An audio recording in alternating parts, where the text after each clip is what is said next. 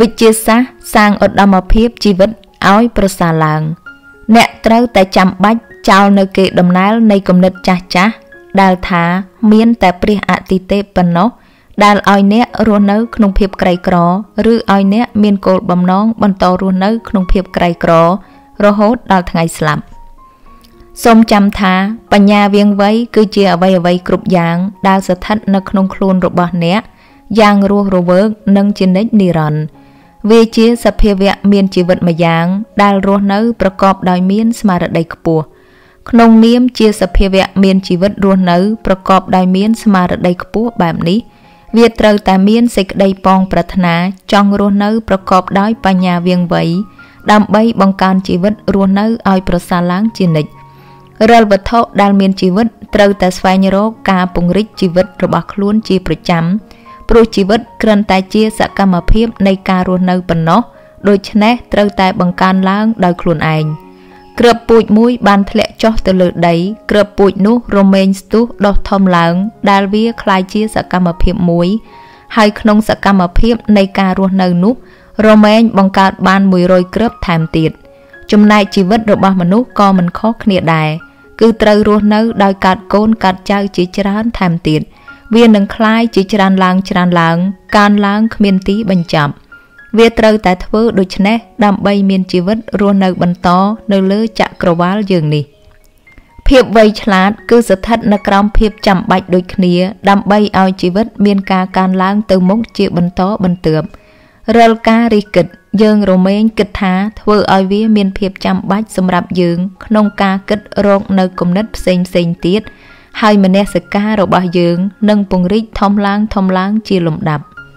រាល់ការពិតដែលយើងរៀនរមែងនាំឲ្យយើងរៀនពីការពិតមួយផ្សេងទៀតហើយចំណេះដឹងរបស់យើងចេះតែកើនឡើងជាលំដាប់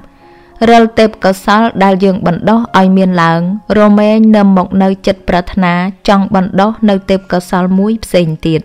ត្រូវដឹងថាយើងជាប្រធាននៃការជំរុញជីវិតរបស់យើងឲ្យប្រសើរឡើង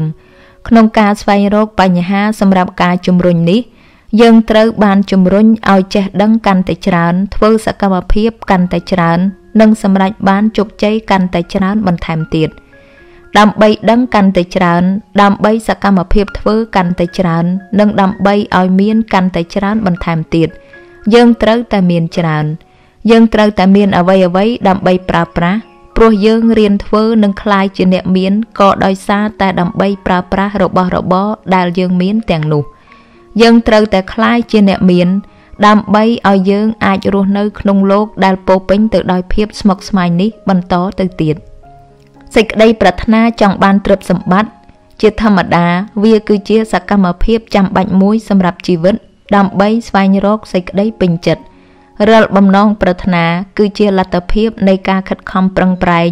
ដែលមិនអាចពន្យល់បានដើម្បីចាប់ផ្ដើមប្រតិបត្តិការ វាគឺជាការស្វែងរកអំណាចដើម្បីបង្ហាញឲ្យច្បាស់ពីមូលហេតុដែលនាំឲ្យកើតមានបំណងប្រាថ្នាអ្វីដែលធ្វើឲ្យអ្នកចង់បានលុយកាក់កាន់តែច្រើនក៏ដូចគ្នានឹងអ្វីដែលធ្វើឲ្យរុក្ខជាតិលូតលាស់អញ្ចឹងដែរវាគឺជាជីវិតដែលស្វែងរកការបញ្ជាក់ឲ្យបានច្បាស់លាស់និងពេញលេញ សភាវៈមានជីវិតត្រូវតែស្ថិតនៅក្រោមច្បាប់នេះពេញមួយជីវិត វាត្រូវបានជ្រាបចូលដោយបំណងប្រាថ្នាចង់រស់នៅបន្តទៅទៀតនោះហើយជាមូលហេតុដែលវាស្ថិតនៅក្រោមភាពចាំបាច់នៃការបង្កើតឲ្យមានអ្វីមួយបន្ថែមទៀតម្យ៉ាងទៀតដោយសារតែសភាវៈនៃការចង់រស់នៅក្នុងខ្លួនអ្នកភាកច្រើនវាចង់ឲ្យអ្នកមានអ្វីអ្វីគ្រប់យ៉ាងដែលអ្នកត្រូវការប្រើប្រាស់វាគឺជាបំណងប្រាថ្នារបស់ព្រះ ដែលអ្នកគួរតែคล้ายជាអ្នកមានទ្រង់ចង់ឲ្យអ្នកក្លាយជាអ្នកមានព្រោះទ្រង់អាចដឹកនាំខ្លួនឯងបានល្អជាងអ្នកប្រសិនបើអ្នកមានអ្វីអ្វីជាច្រើនដែលត្រូវប្រើក្នុងការបញ្ជាក់ដល់ទ្រង់ទ្រង់អាចរស់នៅជាមួយអ្នកបានប្រសិនបើអ្នកធ្វើតាមបញ្ជានៃទ្រព្យសម្បត្តិដែលគ្មានដែនកំណត់ចក្រវាលចង់ឲ្យអ្នកមានអ្វីគ្រប់យ៉ាងដែលអ្នកចង់បានធម្មជាតិមានការស្វាគមន៍ចំពោះផែនការរបស់អ្នក អ្វីគ្រប់យ៉ាងគឺសម្រាប់អ្នកនេះជាការពិតដែលអ្វីគ្រប់យ៉ាងត្រូវតែកើតឡើងចំពោះអ្នកទោះបីជាយ៉ាងណាក៏ដោយ វាពិតជាចាំបាច់ណាស់ដែលគោលបំណងរបស់អ្នកគួរតែសមស្របទៅនឹងគោលបំណងដែលមានចំពោះអ្វីអ្វីគ្រប់យ៉ាងដែលអ្នកចង់បាន អ្នកត្រូវតែមានមហិច្ឆតានិងការប្រាថ្នាចង់បានជីវិតពិតមួយ មិនមែនគ្រាន់តែជាការសប្បាយឬការត្រេកត្រអាលនោះទេ ជីវិតគឺជាការបំពេញនៅមុខងារដែលខ្លួនចង់បាន ហើយបុគ្គលម្នាក់ម្នាក់អាចរស់នៅបានលុះត្រាតែគេបំពេញមុខងារផ្លូវកាយផ្លូវចិត្តនិងស្មារតីដែលគេមានសមត្ថភាពក្នុងការបំពេញមុខងាររបស់គេ អ្នកមិនចង់ខ្លាយជាអ្នកមាន ដើម្បីរស់នៅសុខសប្បាយសម្រាប់ការបំពេញបំណងប្រាថ្នារបស់សត្វលោកទេព្រោះនោះមិនមែនជាជីវិតពិតឡើយប៉ុន្តែការអនុវត្តរិលមុខងាររបស់រាងកាយ គឺជាផ្នែកមួយនៃជីវិត អ្នកមិនចង់ខ្លាយជាអ្នកមាន ដើម្បីទទួលបានភាពស្រណុកសុខស្រួលខាងផ្លូវចិត្តទទួលបានចំណេះដឹង បំពេញមហិច្ឆតា ធ្វើឲ្យលេចធ្លោខ្ពង់ខ្ពស់ឬល្បីល្បាញជាងអ្នកដទៃទេ ទាំងនេះគឺជាផ្នែកស្របច្បាប់របស់ជីវិតទោះយ៉ាងណា មនុស្សដែលរស់នៅសម្រាប់សេចក្តីរីករាយតែម្យ៉ាងនឹងមានជីវិតលំអៀងជានិច្ចព្រោះថាពួកគេនឹងមិនពេញចិត្តនឹងអ្វីដែលពួកគេមានទេ អ្នកមិនចង់ខ្លាយជាអ្នកមានដើម្បីតែប្រយោជន៍អ្នកដទៃទេ ហើយអ្នកក៏មិនចង់ធ្វើខ្លួនឯងឲ្យបរាជ័យដោយសារតែការសង្គ្រោះមនុស្សជាតិ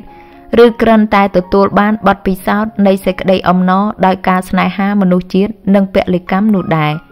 សេចក្តីអំណរនៃដួងចិត្តគឺគ្រាន់តែជាផ្នែកមួយនៃជីវិតប៉ុណ្ណោះវាមិនល្អប្រសើរជាងផ្នែកដតីផ្សេងទៀតទេ អ្នកចង់คลายទៅជាអ្នកមាន គឺដើម្បីឲ្យអ្នកអាចញ៉ាំផឹក និងសប្បាយរីករាយប៉ុណ្ណោះ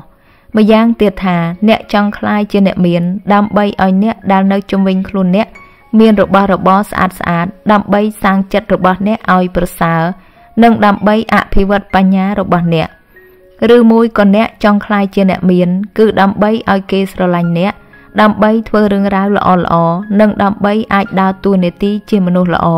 ក្នុងការជួយពិភពលោកស្វែងរកការពិតនៃជីវិត។ ប៉ុន្តែសូមចាំថាបរិធទ្ធភាពនិយមជ្រុលហួសហេតុពេកមិនមែនជារឿងល្អប្រសើរនិងមិនល្អប្រសើរជាងអាត្មានិយមខ្លាំងហួសហេតុទេ ទាំងពីរគឺសិតតែជាកំហុសគួរតែបំបត្តិចោលនៅគំនិតដែលថាព្រះចង់ឲ្យអ្នកលះបង់ខ្លួនឯងដើម្បីអ្នកដតីហើយអ្នកអាចទទួលបានការពេញចិត្តពីទ្រង់ប្រសិនបើអ្នកអាចធ្វើបានដូច្នេះព្រះមិនតម្រូវឲ្យអ្នកកាន់យកគំនិតណាមួយទេ អ្វីដែលទ្រង់ចង់បាន គឺអ្នកគួរតែទទួលបានច្រើនបំផុតពីខ្លួនឯងសម្រាប់ខ្លួនឯងនិងអ្នកដតីម្យ៉ាងទៀតអ្នកអាចជួយអ្នកដតីបានថែមទៀតតាមរយៈទទួលបានច្រើនបំផុតពីខ្លួនឯងជាងតាមវិធីផ្សេងទៀតអ្នកត្រូវដឹងថាអ្នកអាចទទួលបានច្រើនបំផុតពីខ្លួនឯងតាមរយៈការคลายជាអ្នកមានដូច្នេះវាជារឿងត្រឹមត្រូវនិងគួរឲ្យសរសើរ ដែលអ្នកគួរតែផ្ដល់ការរិះគិតដំបូងនិងដ៏ល្អបំផុតរបស់អ្នកចំពោះការងារដែលទទួលបានទ្រព្យសម្បត្តិទោះជាយ៉ាងណាក៏ដោយអ្នកត្រូវចងចាំថាសភាវៈនៃបំណងប្រាថ្នាគឺមានសម្រាប់មនុស្សគ្រប់គ្នា សកម្មភាពរបស់វាត្រូវតែមានភាពប្រសើរឡើងចំពោះមនុស្សគ្រប់គ្នា វាមិនអាចធ្វើឲ្យជីវិតនរណាម្នាក់អន់ថយនោះទេព្រោះវាកំពុងស្វែងរកទ្រព្យសម្បត្តិនិងសាងជីវិតមនុស្សគ្រប់គ្នាឲ្យប្រសើរឡើង សភាវៈនៃភាពវៃឆ្លាតនិងបង្កើតរបស់របរសម្រាប់អ្នកតែត្រូវចាំថាវានឹងមិនដណ្ដើមយករបស់របរពីអ្នកផ្សេងមកឲ្យអ្នកទេ អ្នកត្រូវតែកំចាត់គំនិតនៃការប្រកួតប្រជែងអ្នកត្រូវតែច្នៃប្រឌិត តែមិនមែនច្នៃប្រឌិតដើម្បីប្រកួតប្រជែងនោះទេអ្នកមិនចាំបាច់យកអ្វីពីនរណាម្នាក់ទេ អ្នកមិនចាំបាច់រំពឹងថានឹងផ្លាស់ប្ដូរនៅអ្វីដែលអ្នកបានធ្វើនោះទេ អ្នកមិនចាំបាច់ឆោបោក ឬទាញផលប្រយោជន៍ពីអ្នកដទៃទេ អ្នកមិនចាំបាច់ឲ្យនរណាម្នាក់ធ្វើការឲ្យអ្នកដោយផ្ដល់ប្រាក់ខែឲ្យគេតិចដើមរកចំណូលបាននោះទេ អ្នកមិនត្រូវលោភលន់ឬមើលទ្រព្យសម្បត្តិនោះដោយការរំពៃចង់បានរបស់គេនោះទេគ្មាននរណាម្នាក់មានរបស់ដែលអ្នកមិនអាចមានដូចគេទេ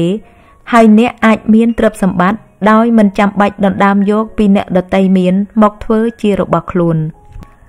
ត្រូវតែคลายទៅជាអ្នកច្នៃប្រឌិតម្នាក់ដ៏អស្ចារ្យមិនមែនអ្នកប្រកួតប្រជែងម្នាក់ដ៏អស្ចារ្យនោះទេ អ្នកនឹងទទួលបានអ្វីដែលអ្នកចង់បានប៉ុន្តែនៅពេលអ្នកទទួលបានអ្វីអ្វីនោះមនុស្សគ្រប់គ្នានឹងមានច្រើនជាងអ្វីដែលគេមាននាពេលបច្ចុប្បន្នខ្ញុំដឹងថាមានមនុស្សដែលទទួលបានលុយយ៉ាងច្រើនតាមរយៈបន្តការប្រឆាំងដោយផ្ទាល់ទៅនឹងទិសដៅដែលនឹងត្រូវនិយាយនៅក្នុងកថាខណ្ឌខាងមុខ វណ្ណៈអភិជនដែលបានคล้ายជាអ្នកមានខ្លាំងនៅពេលខ្លះពួកគេคล้ายជាអ្នកមានដោយសមត្ថភាពអស្ចារ្យរបស់ពួកគេ នៅលើគំនិតនៃការប្រកួតប្រជែងទោះជាយ៉ាងណាក៏ដោយ ពេលខ្លះការចូលរួមចំណែករបស់ពួកគេក្នុងកំណើននៃឧស្សាហកម្មពួកគេស្របគ្នាជាមួយនឹងសភាវៈនៃការឈ្មោះទៅរកភាពប្រសើរឡើង នៃមនុស្សជាតិដោយមិនដឹងខ្លួន អ្នកឧស្សាហកម្មដូចជាលោក Rocky Feller លោក Carnegie និងលោក Morgan បានក្លាយជាភ្នាក់ងារដ៏សំខាន់ដោយមិនដឹងខ្លួនរបស់ប្រទេសមហាអំណាចអ្នកទាំងនេះស្ថិតនៅក្នុងការងារចាំបាច់នៃការរៀបចំប្រព័ន្ធការងារនិងការរៀបចំឧស្សាហកម្មឲ្យមានផលិតភាពកាន់តែប្រសើរការងាររបស់ពួកគេបានចូលរួមចំណែកយ៉ាងសកម្មក្នុងការបង្កើនជីវិតរស់នៅសម្រាប់មនុស្សគ្រប់គ្នា។ ពួកគេបានជួយរៀបចំផលិតកម្មហើយបានទទួលជោគជ័យភ្លាមៗដោយភ្នាក់ងារជាច្រើនដែលបានរៀបចំចែកចាយគ្រឿងម៉ាស៊ីននៅយុគសម័យបុរេប្រវត្តិមានមហាសេដ្ឋីជាច្រើនប៉ុន្តែពួកគេប្រៀបដូចជាសត្វល្មូនបីសាចអញ្ចឹងកំណត់ត្រាអំពីជីវិតឯកជនរបស់វណ្ណៈនេះភាកច្រើននឹងបង្ហាញថា ពួកគេពិតជាមានការស្អប់ខ្ពើមនិងសោកសៅបំផុតសម្រាប់អ្នកក្រទ្រព្យសម្បត្តិជាច្រើនដែលទទួលបានពីគំនិតប្រកួតប្រជែង មិនមានភាពស្កប់ស្កល់និងមិនមាននិរន្តរភាពទេត្រូវចាំថានៅថ្ងៃនេះពួកវាមានទ្រព្យសម្បត្តិជារបស់អ្នកប៉ុន្តែថ្ងៃស្អែកពួកគេជារបស់អ្នកផ្សេងសូមចាំដូចនេះទៀតថាប្រសិនបើអ្នកចង់ក្លាយជាអ្នកមានបែបវិទ្យាសាស្ត្រនិងតាមវិធីច្បាស់លាស់អ្នកត្រូវតែក្រោកចេញពីគំនិតប្រកួតប្រជែងអ្នកអាចនឹងធ្លាក់ចូលក្នុងគំនិតប្រកួតប្រជែងនៅពេលដែលអ្នកចាប់ផ្ដើមគិតថា លុយទាំងអស់កំពុងត្រូវបានគេដណ្ដើមយកផ្ដាច់មុខនិងគ្រប់គ្រងដោយធនាគាររឹកនិងអ្នកដទៃទៀតហើយអ្នកត្រូវតែខិតខំប្រឹងប្រែងដើម្បីឲ្យច្បាប់អនុម័តក្នុងការបញ្ឈប់ដំណើរការនេះចូលចាំថាអត្តពលនៃការច្នៃប្រឌិតនឹងរលាយបាត់ហើយអ្វីដែលអាក្រក់ជាងនេះទៅទៀតនោះ អ្នកប្រហែលជានឹងចាប់យកការច្នៃប្រឌិតដែលបានអនុវត្តរួចហើយ។ រ៉ែមាសដែលមានតម្លៃរាប់ពាន់លានដុល្លារដែលរកមិនឃើញនៅលើភ្នំនៃភពផែនដីយើងនេះប្រសិនបើមិនមានការផ្គត់ផ្គង់គ្រប់គ្រាន់ទេ អ្វីអ្វីជាច្រើននឹងត្រូវបានគេកែច្នៃចេញពីសភាវៈនៃការគិតរបស់គេ ដើម្បីផ្គត់ផ្គង់តម្រូវការផ្សេងផ្សេងរបស់អ្នកលុយដែលអ្នកត្រូវការនឹងមករកអ្នកបើទោះបីជាវាចាំបាច់សម្រាប់មនុស្ស1000នាក់ដែលត្រូវបានដឹកនាំទៅរករ៉ែមាសថ្មីនៅថ្ងៃស្អែកក៏ដោយ។ សរុបមកគឺថាកុំព្យាយាមមើលតែការផ្គត់ផ្គង់ដែលមើលឃើញឲ្យសោះសូមព្យាយាមក្រឡេកមើលទ្រព្យសម្បត្តិដែលគ្មានដែនកំណត់នៅក្នុងសភាវៈដែលគ្មានទម្រង់ឬរូបរាងត្រូវដឹងថាពួកគេកំពុងចូលមករកអ្នកយ៉ាងលឿនដែលអ្នកអាចទទួលនិងប្រើប្រាស់ពួកវាបាន អ្នកត្រូវតែជឿថាគ្មាននរណាម្នាក់ដែលដណ្ដើមការផ្គត់ផ្គង់ដែលអាចមើលឃើញ ឬគ្មាននរណាម្នាក់អាចរារាំងអ្នក ពីការទទួលបានអ្វីដែលជារបស់អ្នកបានទេកុំបណ្ដោយឲ្យខ្លួនអ្នកគិតតែមួយផ្លេតថារិលអាគារល្អល្អទាំងអស់នឹងត្រូវបានគេកសាងមុនពេលដែលអ្នកត្រៀមសាងសង់ផ្ទះរបស់អ្នកកុំភ័យខ្លាចចំពោះអ្វីដែលពួកគេនឹងខ្លាចជាកម្មសិទ្ធិនៅលើផែនដីទាំងមូលក្នុងពេលឆាប់ៗនេះកុំភ័យខ្លាចថាអ្នកនឹងបាត់បង់អ្វីដែលអ្នកចង់បានដោយសារតែមនុស្សផ្សេងទៀតដណ្ដើមវាពីអ្នក រឿងនេះมันអាចកើតឡើងបានទេ អ្នកមិនមែនកំពុងស្វែងរករបស់អ្វីមួយដែលអ្នកណាម្នាក់កាន់កាប់ទេ អ្នកកំពុងធ្វើឲ្យអ្វីអ្វីដែលអ្នកចង់បានត្រូវបានច្នៃប្រឌិតចេញពីសភាវៈដែលគ្មានទម្រង់ឬរូបរាង ហើយការផ្គត់ផ្គង់លែងមានកំណត់ទៀតហើយសូមប្រកាន់ខ្ជាប់នៅទស្សនៈខាងក្រោមនេះអ្វីអ្វីទាំងអស់ត្រូវបានគេបង្កើតឡើងដោយសារតែសភាវៈនៃការគិត ហើយវាស្ថិតក្នុងសភាពដើមរបស់វាជ្រាបចូលចាក់ទម្លុះនិងបំពេញចន្លោះនៃប្រព័ន្ធចក្រវាល ការគិតនៅក្នុងសភាវៈនេះ វានឹងផលិតនៅអ្វីដែលត្រូវបានគេស្រមៃជារូបភាពនៅក្នុងចិត្តតាមរយៈការគិត មនុស្សម្នាក់ម្នាក់អាចបង្កើតអ្វីអ្វីនៅក្នុងការគិតរបស់គេបាន តាមរយៈការសង្កត់ធ្ងន់លើការគិតរបស់គេទៅលើសភាវៈដែលគ្មានទម្រង់ឬរូបរាង វាគឺជាមូលហេតុនៃអ្វីដែលគេគិតដល់ត្រូវបានបង្កើតឡើងភាពមានបាននឹងរត់មករកអ្នកនៅពេលដែលខ្ញុំនិយាយថា អ្នកមិនត្រូវតថ្លៃខ្លាំងពេកទេ នោះមិនមានន័យថា អ្នកមិនត្រូវតថ្លៃទៅតែសោះនោះទេ ហើយក៏មិនមែនមានន័យថា អ្នកត្រូវតែមានភាពចាំបាច់ខ្លាំងដើម្បីតាក់ទងជាមួយនឹងមនុស្សផ្សេងទៀតនោះដែរប៉ុន្តែខ្ញុំចង់មានន័យថា អ្នកនឹងមិនចាំបាច់តាក់ទងជាមួយនឹងពួកគេដោយគ្មានភាពត្រឹមត្រូវឡើយព្រោះថាអ្នកមិនត្រូវទទួលបានអ្វីមួយពីនរណាម្នាក់ដោយទទេទទេនោះទេ អ្នកអាចផ្ដល់ឲ្យមនុស្សគ្រប់គ្នាច្រើនជាងអ្នកយកពីពួកគេ អ្នកមិនអាចផ្ដល់តម្លៃសាច់ប្រាក់ឲ្យមនុស្សណាម្នាក់ច្រើនជាងតម្លៃវត្ថុដែលអ្នកផ្គត់ផ្គង់ទៅឲ្យគិតទេប៉ុន្តែអ្នកអាចផ្ដល់ឲ្យគិតនៅតម្លៃនៃការប្រើប្រាស់ច្រើនជាងតម្លៃវត្ថុដែលអ្នកផ្ដល់ឲ្យគេ ឧបមាថាខ្ញុំជាម្ចាស់រូបគំនូរដែលមានតម្លៃរប៉ុនដុល្លារខ្ញុំយកវាទៅ Baffin Bay ហើយអ្នកលក់យកទៅឲ្យជនជាតិអេស្គីម៉ូម្នាក់អេស្គីម៉ូគឺអំបូរមនុស្សមួយក្រុមដែលរស់នៅក្នុងទ្វីបអាមេរិកខាងជើង ដោយផ្ដល់កញ្ចប់មួយដែលមានតម្លៃ500ដុល្លារនៅក្នុងមួយផ្ទាំងបើបែបនេះខ្ញុំពិតជាបានធ្វើបាបគាត់ព្រោះគាត់មិនបានប្រើប្រាស់ដើម្បីជាប្រយោជន៍ពីរូបគំនូរនោះទេ ដូច្នេះវាមិនមានតម្លៃចំពោះគាត់ឡើយ វានឹងមិនធ្វើឲ្យការរស់នៅរបស់គាត់មានភាពល្អប្រសើរឡើយប៉ុន្តែឧបមាថាខ្ញុំឲ្យកំភ្លើងមួយដើមដែលមានតម្លៃ50ដុល្លារសម្រាប់ការដើរបាញ់សត្វរបស់គាត់ខ្ញុំជឿជាក់ថា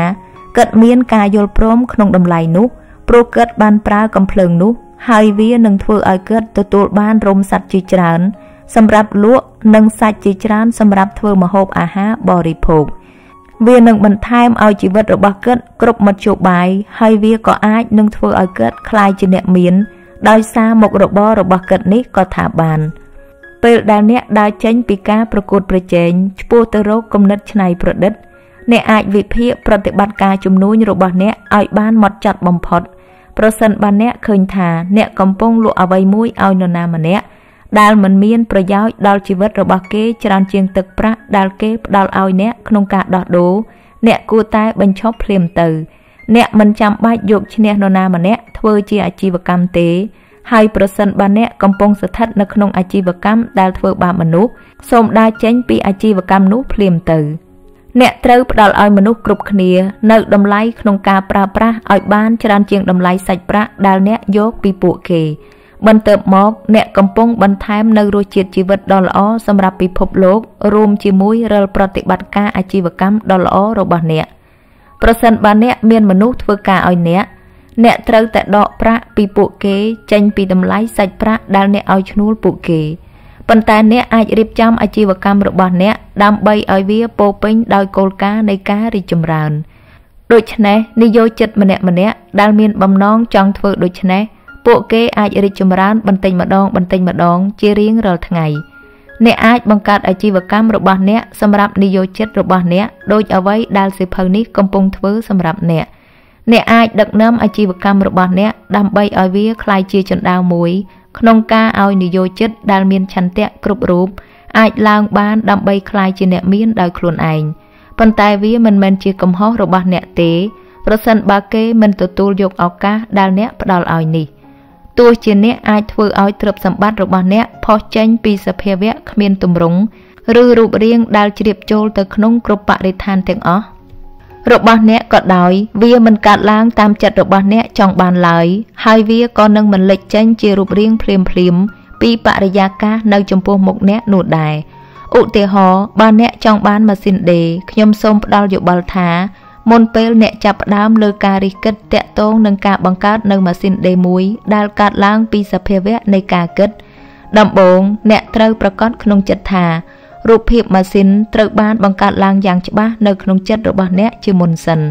ប្រសិនបើអ្នកចង់បានម៉ាស៊ីនដេរសូមប្រកាន់យករូបភាពផ្លូវចិត្តជារួមនិងភាពពិតប្រាកដជាវិជ្ជមានបំផុតដែលវាត្រូវបានបង្កើតឡើង ឬកំពុងដំណើរការក្នុងចិត្តរបស់អ្នក បន្ទាប់ពីបានបង្កើតគំនិតភ្លាមភ្លាមចូលមានជំនឿដាច់ខាតថាម៉ាស៊ីនដេរនឹងត្រូវតែបង្កើតឡើង។ត្រូវគិតពីវា ឬនិយាយពីវាដោយជឿជាក់ថាវានឹងអាចផលិតបាន ចូលអះអាងថាវាជារបស់អ្នករួចទៅហើយវានឹងត្រូវបាននាំមកឲ្យអ្នកដោយអំណាចនៃបញ្ញាដ៏អស្ចារ្យដែលអំណាចនេះមានឥទ្ធិពលលើគំនិតរបស់មនុស្ស ប្រសិនបើអ្នករស់នៅក្នុងរដ្ឋម៉ាណេវាអាចជាមនុស្សម្នាក់ដែលត្រូវបានគេនាំមកពីរដ្ឋតិចសាសឬមកពីប្រទេសជប៉ុន ដើម្បីចូលរួមក្នុងប្រតិបត្តិការមួយចំនួន ដែលនឹងនាំឲ្យអ្នកទទួលបានអ្វីដែលអ្នកចង់បានបើដូច្នេះមែនបញ្ហាទាំងមូលនឹងមានប្រយោជន៍ច្រើនចំពោះបុគ្គលនោះក៏ដូចជាគុណប្រយោជន៍របស់អ្នកដែរ សូមកុំភ្លេចថាសភាវៈនៃការគិតមាននៅក្នុងអវ័យអវ័យគ្រប់យ៉ាង វាប្រស្រ័យតាក់ទងជាមួយនឹងអវ័យអវ័យគ្រប់យ៉ាង ហើយវាអាចមានឥទ្ធិពលលើអវ័យអវ័យគ្រប់យ៉ាងសេចក្តីប៉ងប្រាថ្នានៃសភាវៈនៃការគិត ដើម្បីឲ្យជីវិតប្រសើរឡើងតាក់ទងនឹងការច្នៃប្រឌិតម៉ាស៊ីនដេរទាំងអស់ដែលធ្លាប់ត្រូវបានផលិតឡើង វាអាចបណ្ដាលឲ្យមានការបង្កើតម៉ាស៊ីនដេររឹបលៀនថែមទៀត វានឹងបណ្ដាលឲ្យមានការផលិតឡើងកាន់តែច្រើន នៅពេលណាដែលមនុស្សចាប់ផ្ដើមដោយសេចក្តីប៉ងប្រាថ្នានិងមានជំនឿចិត្តតាមរយៈការធ្វើសកម្មភាពតាមវិធីច្បាស់លាស់អ្នកពិតជាអាចមានម៉ាស៊ីនដេរមួយនៅក្នុងផ្ទះរបស់អ្នកអ្នកអាចមានអ្វីមួយដែលអ្នកចង់បានលុះត្រាតែអ្នកប្រើវាសម្រាប់ការរីកចម្រើននៃជីវិតផ្ទាល់ខ្លួន និងជីវិតអ្នកដទៃ អ្នកមិនចាំបាច់ស្ទាក់ស្ទើរក្នុងការសួរដេញដោលទេព្រោះថាធម្មជាតិបានផ្ដល់នៅអាណាចក្រឲ្យអ្នករាល់គ្នា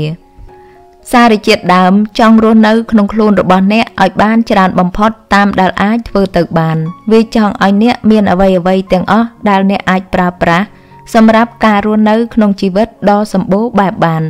ជំនឿចិត្តរបស់អ្នកនឹងคล้ายជារឿងជោគជ័យប្រសិនបើអ្នកផ្ដោតលើមនសិការរបស់អ្នកពីការពិតដែលថា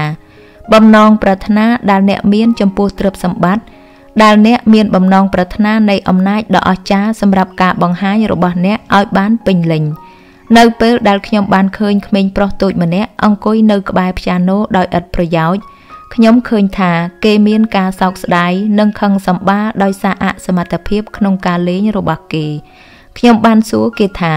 ហេតុអ្វីបានជាគេមិនសប្បាយចិត្តហើយគេបានឆ្លើយថា ខ្ញុំអាចមានអារម្មណ៍ថាមានតន្ត្រីនៅក្នុងខ្លួនរបស់ខ្ញុំប៉ុន្តែខ្ញុំនៅតែមិនអាចលេងបានតន្ត្រីនៅក្នុងខ្លួនរបស់គេ គឺជាការជំរុញពីសារជាតិដើមដែលផ្ទុកនៅគ្រប់លទ្ធភាពទាំងអស់របស់គេអ្វីអ្វីទាំងអស់ដែលមានក្នុងតន្ត្រីកំពុងស្វែងរកការបង្ហាញនៅការពេញចិត្តតាមរយៈកុមារម្នាក់នោះព្រះជាម្ចាស់គឺជាសភាវៈដែលកំពុងព្យាយាមរស់នៅធ្វើសកម្មភាព និងរីករាយនឹងអ្វីអ្វីតាមរយៈមនុស្សជាតិ ទ្រង់កំពុងតែមានព្រះបន្ទូលថាខ្ញុំចង់ឲ្យដៃសាងអាគារជាច្រើនដ៏អស្ចារ្យលេងភ្លេងស៊ីសង្វាក់គ្នានិងគូរូបដ៏ល្អក្រៃលែងខ្ញុំចង់ឲ្យជើងបំពេញកិច្ចការខ្ញុំចង់ឲ្យភ្នែកមើលឃើញសម្រស់របស់ខ្ញុំខ្ញុំចង់ឲ្យអណ្ដាតប្រាប់ពីសេចក្តីពិតដ៏អស្ចារ្យនិងច្រៀងចម្រៀងដ៏ពីរោះរណ្ដំអ្វីដែលអាចធ្វើបាន គឺស្វែងរកការបង្ហាញរូបភាពចិត្តតាមរយៈមនុស្ស ព្រះជាម្ចាស់របស់អ្នកចង់ឲ្យអ្នកអាចលេងភ្លេងបាន ដោយមានឧបករណ៍ដែលពួកគេត្រូវការ មានមធ្យោបាយដើម្បីបណ្ដុះទេពកោសល្យរបស់ពួកគេឲ្យបានពេញលេញឥឡូវនេះខ្ញុំនឹកឃើញរឿងរបស់និស្សិតម្នាក់ដែលត្រូវបានគេប្រាប់ថាគិតត្រូវមើលឃើញរូបភាពចិត្តរបស់គិតមួយ ដែលគិតចង់សាងរូបភាពនោះឲ្យច្បាស់លាស់ជាមុនសិន ដើម្បីឲ្យការច្នៃប្រឌិតនៃរបស់ទាំងនោះ អាចត្រូវបានគេផ្ដោតខ្លាំងលើសភាវៈដែលគ្មានរូបរាង។ គិតជានិស្សិតក្រីក្រខ្លាំងម្នាក់រស់នៅក្នុងផ្ទះជួលនិងរកបានមួយថ្ងៃហូបមួយថ្ងៃក្នុងសភាពបែបនេះគិតមិនអាចយល់ការពិតដែលថាទ្រព្យសម្បត្តិទាំងអស់ជារបស់គិតទេហេតុដូច្នេះបន្ទាប់ពីបានគិតពិចារណាពីបញ្ហានេះចប់ហើយគិតបានសម្រេចចិត្តថាគិតអាចនឹងស្នើសុំកម្រាលព្រំថ្មីមួយ សម្រាប់ក្រាលក្នុងបន្ទប់ដ៏ល្អរបស់គិតនិងជើងក្រានខ្ជុងមួយ